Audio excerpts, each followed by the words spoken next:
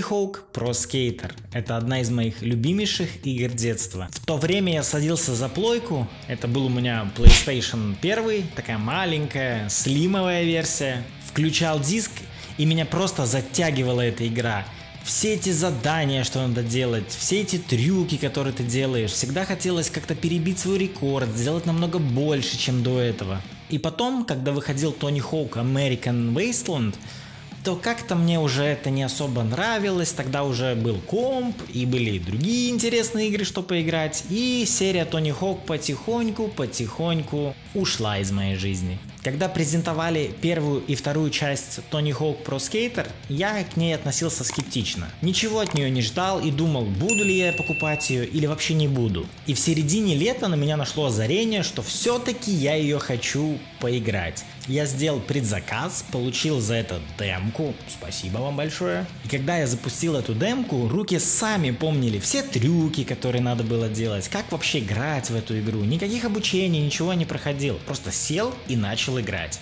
В самой игре и первая, и вторая часть, они никак не переключаются между собой. Просто у тебя есть локации с первой части игры, которая называется Tony Hawk Pro Skater 1, и карты со второй части игры, которая называется Tony Hawk Pro Skater 2. По сути, ничего нового туда не добавили. Там есть мультиплеер и есть сингл, где ты выполняешь разные задания, чтобы открыть следующую локацию. А задания заключаются в том, чтобы перебить определенный рекорд по пунктам, сделать комбо, собрать слово скейт, разнести бочки, разнести коробки, разнести витрину, найти видеопленку. И те же задания были и в оригинале.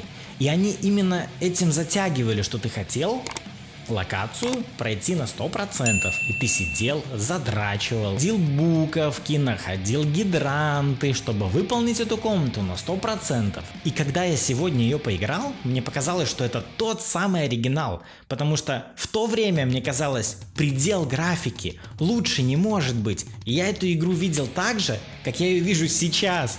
Конечно, если сейчас это сравнить, ты думаешь, как я вообще в это мог играть? Но есть такая тенденция у игр. Даже у той же Мафии первой, когда я ее проходил, мне казалось, это супер графика, лучше не может быть. Со временем растут технологии, все улучшается, и графика становится лучше. И ты опять же играешь игру и кажется, да, лучше не может быть. Проходит пару лет и выходит игра с еще лучшей графикой и кажется, да, вот это и есть предел.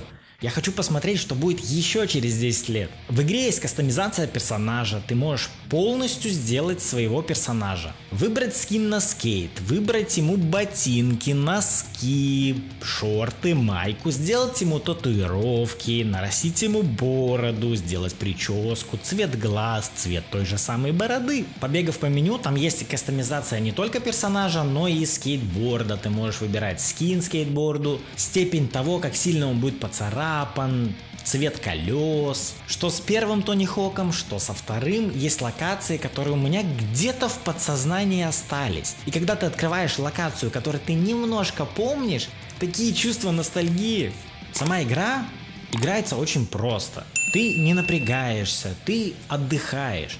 Она и в то время была игра, чтобы провести вечерок, или когда тебе нечем заняться и ты не хочешь вникать в сюжет, ты просто включаешь Тони Хока, берешь скейт в руки, в нашем случае это геймпад, и делаешь трюки наподобие Олли, бэкфлип и тому подобное. Даже сейчас, спустя столько времени я ее запустил, и когда увидел все задания, что мне надо сделать, я захотел их сделать все. Теперь понятно, ты даже за эти задания будешь получать ачивки. Раньше ты ничего этого не получал, и ты просто сидел ее задротил на 100%, потому что Потому что игры ты раньше проходил не для того, чтобы получить ачивку, а потому что ты хотел ее пройти на 100%. Конечно, мне как олдфагу и тому, кто ее играл в оригинале, она дает теплые и ламповые эмоции. Новым игрокам я не знаю, зайдет ли эта игра. На мне сработал фактор, то что я ее играл раньше, и раньше она мне нравилась. Запустив сейчас, она мне нравится так же само, как и раньше. Поэтому я настоятельно советую посмотреть, почитать, может быть попробовать демку и понять, стоит ли вам покупать эту игру или нет. Я покупкой очень доволен, и она скрасит не один мой вечерок. Даже сейчас, когда я смонтирую этот видос, я пойду и запущу эту игру, чтобы пройти еще одну локацию и открыть новую. А так, я надеюсь, вам понравился этот выпуск, поэтому ставим большие пальцы вверх, подписываемся на канал, советуйте канал друзьям, репостите в соцсетях, чтобы больше людей к нам приходило, вместе же веселее. А с вами был Снег, GG. Снова новый обзор, третий день не сплю. В топ не завтра попасть, мусора ютуб Всем привет, я Гэндалф, ссылка в описании. На канал.